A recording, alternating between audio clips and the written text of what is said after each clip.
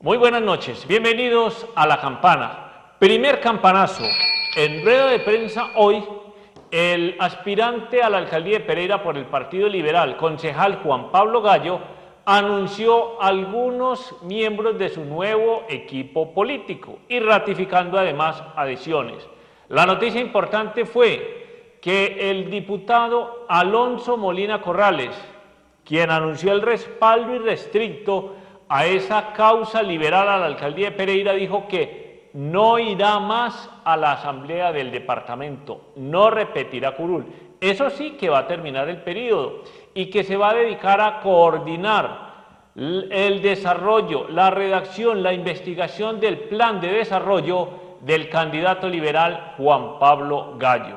Estuvieron además en esa rueda de prensa, obviamente como equipo político, el exalcalde Ernesto Zuluaga, Alonso Molina y también estuvo eh, Arturo Arroyave, quien fuera diputado y también director del área metropolitana, sumando esfuerzos en esa causa que va creciendo día tras día del liberal Juan Pablo Gallo. Además decidió que anunció que próximamente estaría renunciando al Consejo de Pereira para dedicarse de tiempo completo a la alcaldía, a la candidatura a la alcaldía de Pereira. Eso sí, no dio fecha clara todavía. Segundo campanazo, muy movidos andan por dos quebradas en estos días. El club de amigos del alcalde Diego Ramos que tienen convocado para el próximo viernes, 4 de la tarde, la gran fiesta de integración y de homenaje al alcalde de Dos Quebradas, aprovechando que ese día es la institucionalidad en la cual se celebra la fecha del mandatario en el territorio nacional y quieren los amigos del alcalde hacerle ese homenaje en el centro administrativo municipal, en el CAM.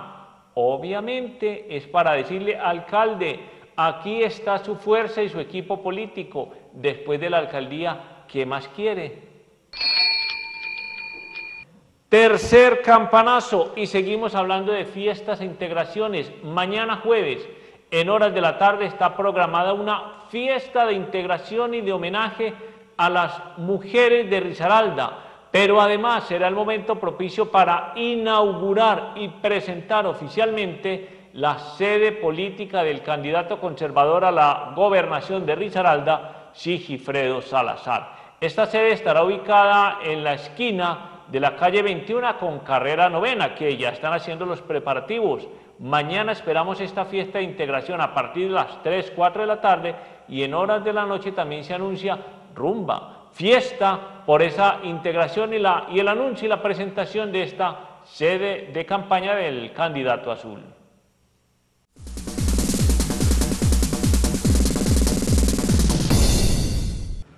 Suenan en la campana los nuevos mandos policiales en el departamento de Risaralda. Damos la bienvenida al brigadier general Germán Bustamante, quien asume como comandante de la región 3, también del coronel Carlos Alberto Jaimes, quien viene a comandar el departamento de policía Risaralda. Tienen una tarea bastante interesante, bastante fuerte, recuperar el tema de orden público y de seguridad en esta región del país, tradicionalmente tranquila, todavía pero que tienen algunas escaramuzas, algunos brotes. Les deseamos, por el bien de toda la ciudadanía de Risaralda y del eje cafetero, un muy buen trabajo y un muy buen desempeño. Además, recordarles, no es solamente trabajo de las autoridades, de la policía, es concurso y compromiso de toda la ciudadanía garantizar la tranquilidad, la normalidad del orden público y garantizar la seguridad en todos los rincones del departamento.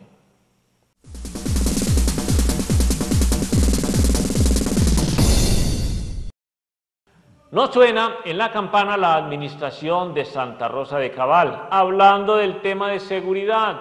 Poco compromiso de la administración local se ve allí. Es constante los anuncios, las escaramuzas de enfrentamiento entre bandas eh, delincuenciales de jóvenes, tráfico de estupefacientes eh, que bordean en algunas zonas periféricas del municipio industrial y al parecer a la administración poco le interesa. Nos dimos cuenta, por ejemplo, Hace poco se citó a un Consejo de Seguridad y a una mesa especializada para tratar ese tema de orden público en el área metropolitana y en toda la región.